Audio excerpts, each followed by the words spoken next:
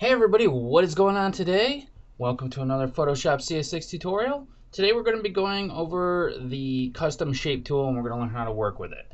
So what the custom shape tool does is allow you to pick from a group of shapes that Photoshop has preset or you can load in your own custom shapes and you can easily just um, put them onto your newest layer.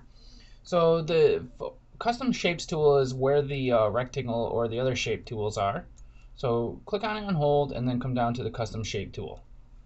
Now your shape is going to be determined by this part up here at the top where it says shape. And click, go ahead and click on the drop down menu and it'll have a bunch of shapes for you that you can pick from. Now I just have the heart selected right now so all I gotta do is click and drag and it'll drag out a heart for me. If I hold shift it'll constrain it proportionally where the heart is going to be the size that it originally is in the image or up here like the, the exact proportions that it was originally at. So we can go ahead and pick other shapes too if we want. Here's a tree.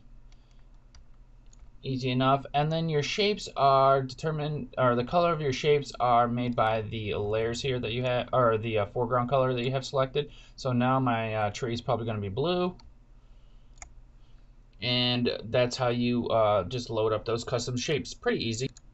Now if you just want to have um, regular raster shapes um, ones that you don't need to uh, that you're able to add filters to and things like that um, you can make sure that you have to make sure that this right here up in the top left is set to pixels. Now if you want shape layers which I haven't gone over yet those are, um, if you change it to shape up here, it'll create a shape layer for you. And I'll go over shape layers in the next tutorial. They have a bit more options that I can go over. I'm just gonna go back and you can see that when you um, try to like make some of these shapes unproportional and things like that, they might have some artifacting um, just like that last shape layer that I had was. So we'll go ahead and um, you can mess around with your shapes. Now if you want to add more shapes, just click on this um, gear right here for the tool options and then you can add more. And here's the ones that Photoshop already has in here for you. So I'll go to animals and then if you can hit OK to replace all the shapes or you can hit append to add it to the end. So I'm going to hit append. And now I've got a couple more animal shapes here. Here I've got the snail. And uh, that's how you do that. Now if you want to load in shapes that you've downloaded off the internet, make sure you download your shapes into your custom shapes folder. Go to the tools and go to load shapes. It, it'll automatically take you to your custom shapes folder. Now I don't have any custom shapes in here because I don't really use it a lot, but that's how you would load them in. You just hit OK and then they would it would ask you to re, uh, append or replace. What's this right here? Oh, just a bunch of seeds.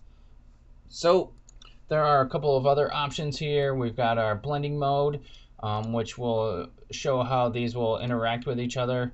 So if I put these seeds on top of this, the blending of them is going to be different where they are mixing with each other. Um, then we've got our opacity, which is self-explanatory. It's just going to um, show the opaqueness of what you just put down. So I'll just put this right next to these ones. Good enough you can see that these ones are darker and are less opaque than are more opaque than these ones that I just put down that are at 50% and here's at like 8% you can definitely see the difference there more lighter.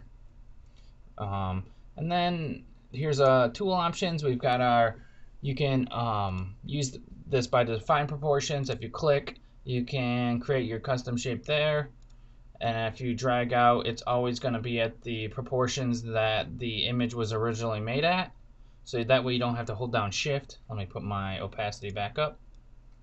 Let's clear the board a little bit. I'm going into my history. I'm just going back to when it was just a regular board. Let's get off of these seeds and put on something that's easier to see like this dog bone here.